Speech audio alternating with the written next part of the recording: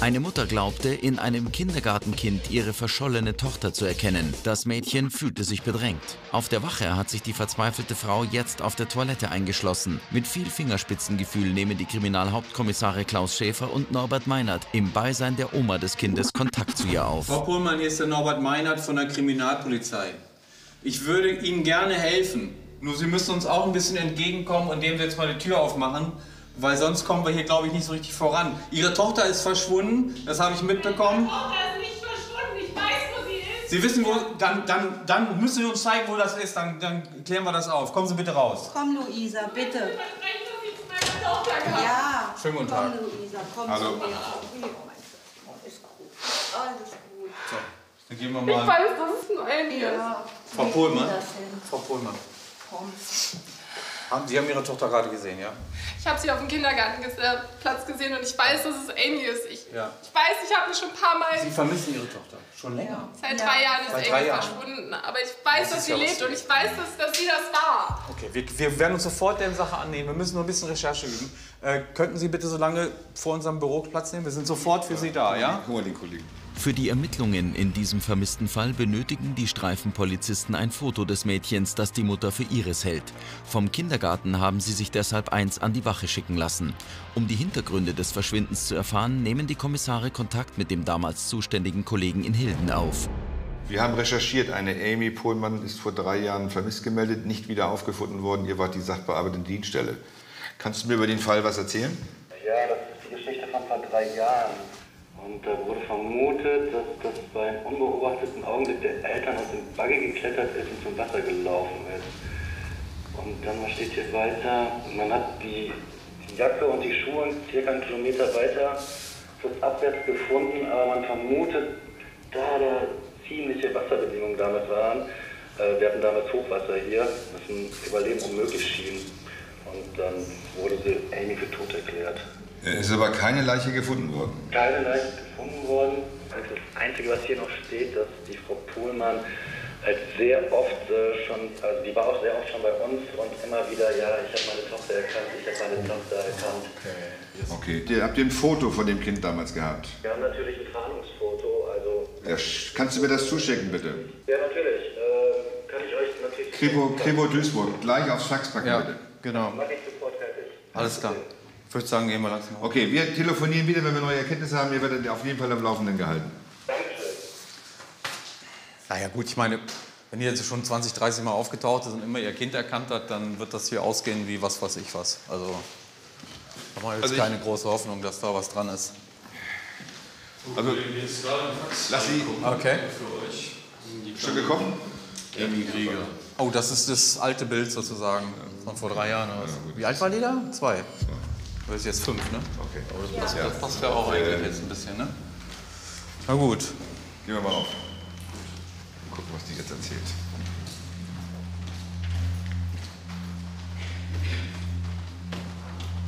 Ich gehe immer, ich gehe immer zu den Kollegen. Die haben doch da so eine neue Software, Ja. wo die das so checken können, dass man einfach das Bild altern lassen. Genau, dass man einfach die Person einfach altern lässt. Und dann schauen wir mal, wie die vielleicht ungefähr aussehen könnte.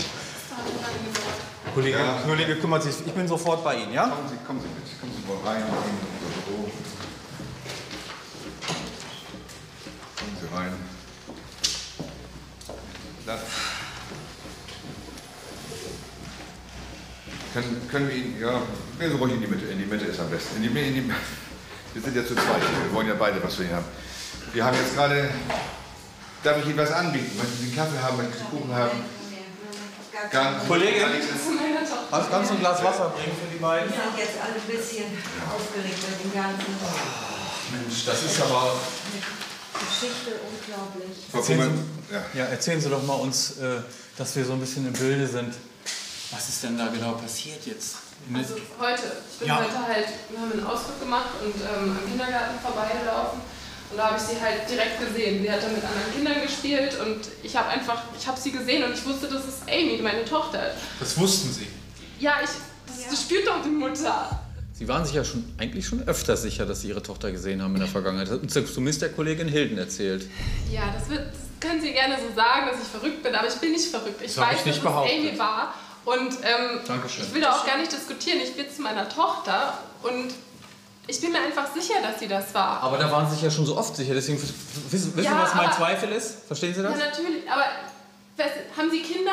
Ja, ich habe auch Ja. Und wenn Ihnen so in so einer Situation das passieren würde und Sie würden dieses Kind sehen und Sie würden auch die Ähnlichkeit, du hast ja auch gesehen, Was die sagen Sie dazu? Ähnlichkeit. Ja, ich muss also auch sagen, diesmal fand ich, äh, sah, sah das Kind wirklich Amy ähnlich. Ich meine, ich habe Amy äh, das letzte Mal mit zwei Jahren gesehen, aber ähm, ich weiß nicht, wie sie sich in drei Jahren weiterentwickelt hat, aber es bestand schon eine Ähnlichkeit. Also ich hatte auch ein komisches Gefühl, als ich das Kind gesehen habe, was ich bisher Ja. noch nie hatte. Das war vor drei Jahren. Ja. Das ist ein bisschen unscharf, aber Ja. ich bin mir einfach sicher, dass sie das ist. Ich habe sie gesehen und ich wusste, das ist meine Tochter. Aber wie kommen Sie jetzt gerade nach Duisburg? Das würde mich Ja, ja, noch Wir haben einfach einen Ausflug gemacht. Ja, weil, weil meine Tochter kommt so schlecht über die Geschichte mit Amy weg. Und Ja. ich versuche alles möglich zu machen, damit sie halt besser klarkommt. Und dann habe ich gesagt, komm, lass uns einen Ausflug machen. Wieso wir ausgerechnet in Duisburg gelandet sind, wissen wir jetzt selber nicht. Wir haben ausgewählt vom Kindergarten. Ja, das, Das war Ganze Zufall. ist so alles so eine fatale Sache. Das, das finden wir. Und jetzt sitzen wir hier und Ja, das, Was macht denn der Vater? Der, der kümmert sich aber ab und zu um mich, aber wir sind geschieden und das ist alles auch wir haben passiert. das einfach nicht. Wo wohnt der? Wohnt er in. Duisburg oder wo? Ja, auch. Und ähm, haben Sie mit dem schon mal jetzt auch Kontakt aufgenommen? Ja, ich habe ihn angerufen, der müsste eigentlich auch herkommen. Sie haben ihn angerufen, Ja. dass er herkommen kann. Ja, natürlich. Ich meine, unsere Tochter wurde. Ja, ja, nee, es ist, ist vollkommen verständlich. Das Ja. ist vollkommen klar. Die Beamten erfahren, dass das Ehepaar das Verschwinden seiner Tochter unterschiedlich verkraftet hat. Während die Mutter noch immer glaubt, dass ihr Kind lebt, hat der Vater versucht abzuschließen. Schlussendlich kam es zur Trennung. Als Norbert Meinert ihnen das vom Computer errechnete Foto des Mädchens zeigt, geraten die Eltern wieder aneinander. So, das ist jetzt hat der äh, Kollege gemacht. Das ist so, als wenn jetzt dieses Bild hier, das haben wir als Grundlage genommen Ja. und tun so, als wenn wir jetzt drei Jahre draufrechnen, ja? Ja. Schauen wir mal. Ja, siehst du? Und das Das beweist ist ja jetzt Das, was? das ist sie. Ja, sieht genauso aus wie das Das beweist einfach nur, dass du dich wieder in was reinsteigerst. Inzwischen haben die Kriminalisten das angeforderte Foto aus der Kita erhalten. Beim Abgleich der Bilder machen sie eine gravierende Entdeckung, die den Fall voranbringen wird. Ja. Oder? Es ist doch. Wer es ist, doch wer ist denn die andere Person da? Kennen Sie den? Ja, die sieht ein bisschen aus wie Claudia. Wer ist Claudia? Wer ist Claudia? Das ist meine Stiefschwester. Ja, Ihre Stiefschwester. Von der, ist die von der wissen wir noch gar nichts. Tochter von meinem Mann, die er mit in die Ehe gebracht hat, die ist nach Duisburg gezogen. So, die Claudia heißt wie? Bachmann. Bachmann? Ja. Also dieser, dieser Hinweis war schon mal für uns sehr, sehr hilfreich. Wir haben dann natürlich geguckt, weil dieses Kind war als Marie Bachmann angemeldet im Kindergarten. Und wir haben dann natürlich alle staatlichen Organe ausgenutzt und nachgefragt, ob diese Claudia Bachmann überhaupt ein legales Kind hat, irgendwie normal zur Welt gebracht hat. Tun Sie mir einen Gefallen. Äh, Ich würde Sie einfach bitten, bleiben Sie jetzt abends draußen sitzen. Wir werden jetzt eine Zeit recherchieren und dann kommen wir auf Sie wieder zurück. Und dann Ja, aber wir können doch zu ihr hinfahren, Ja. oder nicht? ja, lassen Sie, uns, lassen Sie unsere Arbeit machen. Es, es geht ja auch alles der Reihe nach. Bitte setzen Sie sich draußen einmal bitte hin. Ja. Sie ja Sie auch auch bitte. Ja, vielen Dank. uns auferstehen. Genau. Willst du dein Trinken mitnehmen? Machen Sie die Tür hinter sich schon mal zu? Ja, danke. Das ist der Hammer. Dann hat diese Bachmann ein neues Kind im Kindergarten angemeldet. Lass, kannst du drüben mal recherchieren, ob es überhaupt bei, bei der Claudia Bachmann noch eine weitere Person gibt, die überhaupt angemeldet ist oder ob sie das Kind illegal angemeldet hat? Die Ermittlungen zeigen, dass die Tatverdächtige das Kind nicht offiziell bei den Behörden angemeldet hat. Die Kripo-Kommissare wollen die Frau umgehend aufsuchen, um das Mädchen aufzugreifen. Zuvor allerdings gilt es zu klären, warum sie die Kleine unbemerkt von den Eltern und der Großmutter aufziehen konnte. So, ich gebe Ihnen erstmal Ihr Handy zurück. Haben Sie irgendwas gefunden? Ich habe noch mal eine Frage, und zwar die ähm, Beziehung zwischen Claudia Bachmann und Ihnen. Wie ist das Verhältnis so? Gar kein Verhältnis. Wir haben überhaupt keinen Kontakt Haben mehr. keinen Kontakt. Vor drei Jahren, stimmt. Da kam gar nichts mehr von der Claudia, Nee. deswegen Nee, wundert nee, es mich nach jetzt, warum ihr und jetzt nach... Die ist nach Duisburg gezogen, damals, genau. als das Kind weg war. hat die vorher zusammen genau. mit Ihnen im gleichen Ort gewohnt? Ja, also wir waren in der Nähe zusammen. Genau. Also wir haben auch ab und zu was gemacht, aber Genau. so wirklich eng waren wir nicht. Und wir hatten auch so den Kontakt nicht, weil sie halt nach Duisburg ist und äh, auch schon erwachsen und ihr eigenes Leben und dann haben wir eigentlich auch nicht Sie so. können uns jetzt einen ganz großen Ja. Gefallen tun. Sie bleiben hier in der Dienststelle, wir fahren raus und wir kommen auch gleich wieder rein. Mhm. Aber bleiben Sie bitte hier. Ist das okay? Können wir nicht mitfahren? Nein. Die Beamten lassen sich von Verstärkungspolizisten begleiten, damit die sich sofort um das Mädchen kümmern können. Sie vermuten, dass die Kita die Tatverdächtige informiert hat und diese nun zusammen mit dem Kind die Stadt verlassen will. Beim Eintreffen am Einsatzort erhärtet sich der Verdacht. Die Frau, sie droht. Dabei bringt sie sich und das Kind in große Gefahr. Äh, Frau Bachmann? Polizei? Frau Bachmann! Hey, bleiben Sie stehen! Jetzt! Schwarzer Oh SUV! mein Gott! Komm, schnell! Die ist aber crazy! Das ist ja nicht zu fassen. Mein Güte!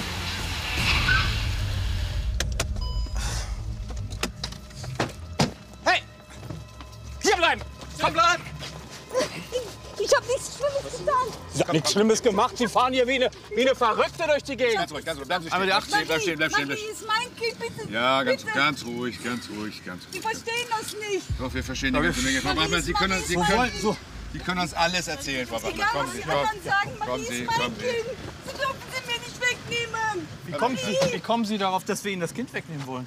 In dem Moment, als die Frau äh, praktisch geflohen ist, mit dem Wagen so mit hoher Geschwindigkeit losgeschossen ist, habe ich ehrlich gesagt nicht dran gedacht, dass da auch ein Kind drin gesessen hat. Wir haben versucht, das Kind äh, mit einer Kollegin sozusagen erstmal ein bisschen beschäftigt zu halten, sodass da nicht unnötig noch äh, Spannung und, und äh, Bilder auftauchen, die für ein Kind sicherlich nicht besonders schön sind. Ich weiß nicht genau, wie ich, das, wie ich Ihnen das erklären soll. Ja, am besten mit ganz einfachen Worten. Ich habe Marie damals mit, mitgenommen, als sie bei ihren El mit ihren Eltern Ja. einen Ausflug gemacht hat. Ja, warum? Weil ich selber keine Kinder bekommen Ja, sehen kann. Sie wohl. Sie müssen verstehen, ich wollte nichts Unrechtes tun, aber Das ist aber Familie. damals am, am See, da haben, die, da, da haben die einen Tagesausflug gemacht. Und Marie, es sah so aus, als wenn sie im Wasser ertrunken wäre. Und da habe ich Marie einfach mitgenommen. Da haben Sie Das günstige Gelegenheit. Ja, ich habe Marie einfach mitgenommen. Ergriffen. Das müssen Sie verstehen, weil ich so selber Aber, keine das, Kinder aber das Leid für das kann. Kind.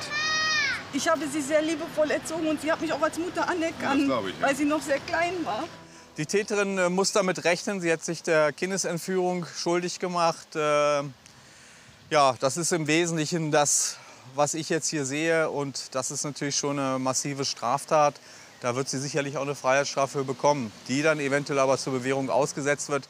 Allein schon vermute ich mal, dass der Richter so werten wird im Hinblick auf das Kind auch, weil die ja auch eine Beziehung aufgebaut haben.